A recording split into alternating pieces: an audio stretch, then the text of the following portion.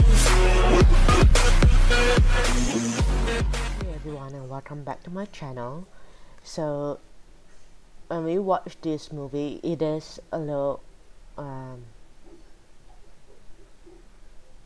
confusing if you don't really know the sicknesses on it. So this is the part 2. I am trying to find the first movie.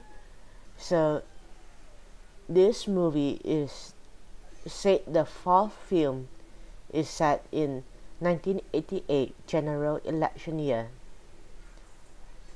This guy named Arjun becomes dissatisfied with the government policies and he decides to form a new opposition party in order to compete for seats in the GRC.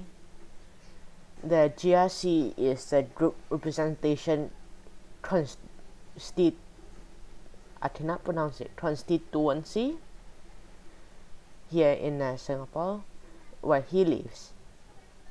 So he teams up with Osman and Shanmugam to form a new opposition party named CMI.